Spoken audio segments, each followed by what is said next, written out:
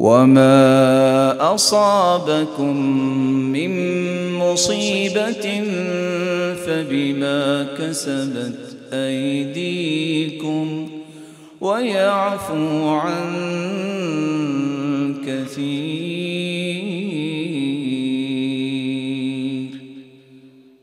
کوئی بھی مصیبت ہاتھوں کی کمائی لن يهلك الناس حتى يعذروا من أنفسهم رسول اللہ صلی اللہ علیہ وسلم نے فرمایا، اس وقت تک لوگ ہلاک نہیں ہوتے جب تک عذر ان کا پورا نہ ہو چکا ہو۔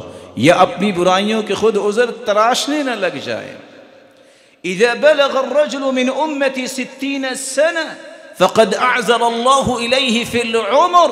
ساٹھ سال اللہ نے کسی کو دے دیے ہیں، عذر مکمل ہو گیا۔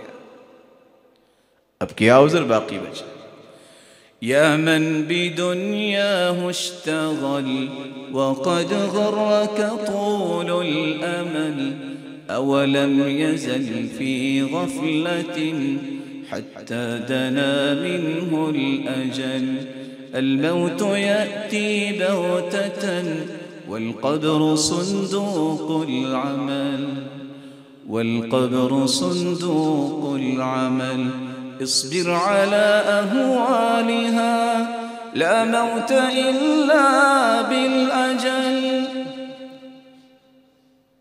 لمبی خواہشیں، دنیا کی محبت نے تمہیں موت بھلا دی اور موت اچانک آتی ہے، یہ کسی کو بتا کے نہیں آتی۔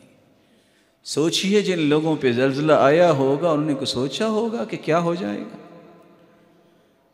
اصل وہ چیز کام آئے گی قبر میں جو میں نے اور آپ نے عمل کیا ہوگا۔ اللہ حضر جلال ہمارے گناہوں کو معاف فرما دے۔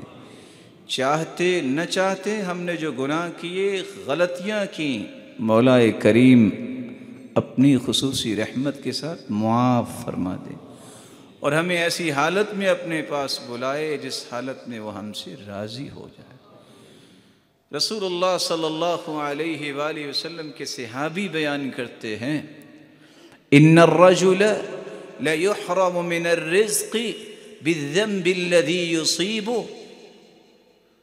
بس اوقات انسان کو رزق ملنے والا ہوتا ہے، گناہ کرتا ہے، اللہ اس رزق سے اسے محروم کر دیتے ولا يبدل التقدير الا الدعاء۔ تقدیر کو بھی اگر بدلنے والی چیز اللہ نے رکھی ہے تو وہ دعا ہے۔